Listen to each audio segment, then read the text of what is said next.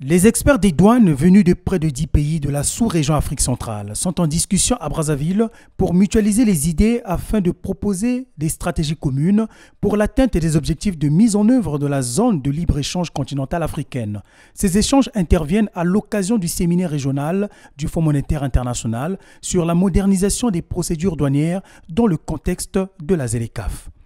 Il s'agit de la plus grande zone de libre-échange à ce jour en termes de parties prenantes et de populations concernées. Cette zone de libre-échange est une opportunité unique d'accroître la richesse du continent africain, de réduire la pauvreté et de mieux intégrer l'Afrique dans l'économie mondiale. S'agissant du commerce international, il est essentiel que la douane joue un rôle de premier plan dans la mise en œuvre de cet accord.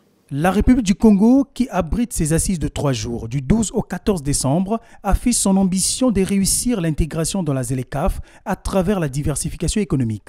La République du Congo, à l'instar d'autres pays africains, a mis en place la stratégie nationale de mise en œuvre de la ZLECAF. Cette stratégie s'articule autour de six axes, à savoir la poursuite des réformes macroéconomiques la mise en place d'un dispositif réglementaire et institutionnel, la diversification de l'économie, le développement des infrastructures, l'adaptation des politiques publiques. Les décideurs politiques attendent des propositions concrètes des participants à ce séminaire du FMI organisé avec l'appui conjoint du gouvernement japonais et Afritac Centre, deux partenaires qui accompagnent le Congo dans le processus de mise en œuvre de la ZLECAF.